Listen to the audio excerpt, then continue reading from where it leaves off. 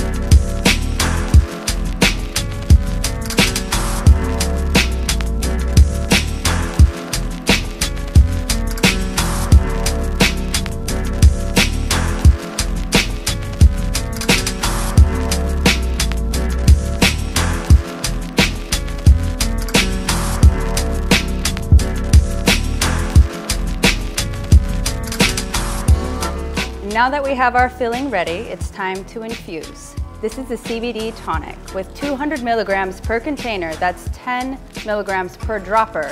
I'll be adding 40 milligrams to this mixture, making each slice approximately 5 milligrams.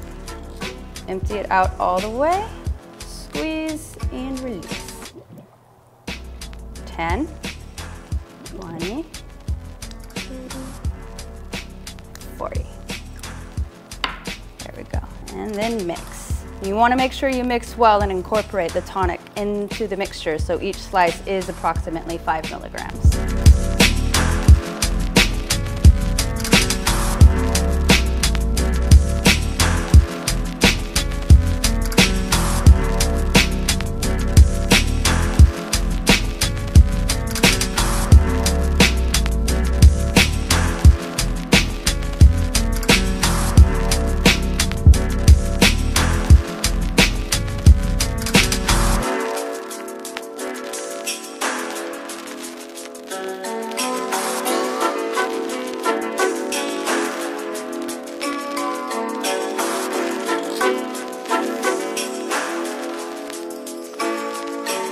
We're going to take the ricotta cheese tart out of the oven.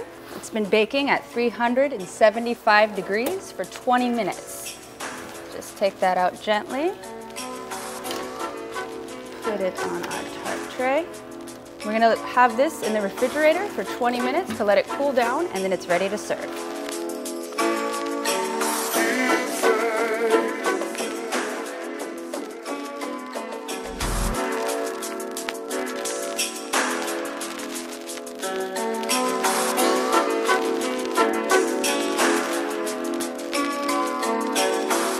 Thanks for watching Cooking with Speakeasy 710. I'm your host, Kira Fay, and for the full recipe, click down below in the description box. See you guys next time.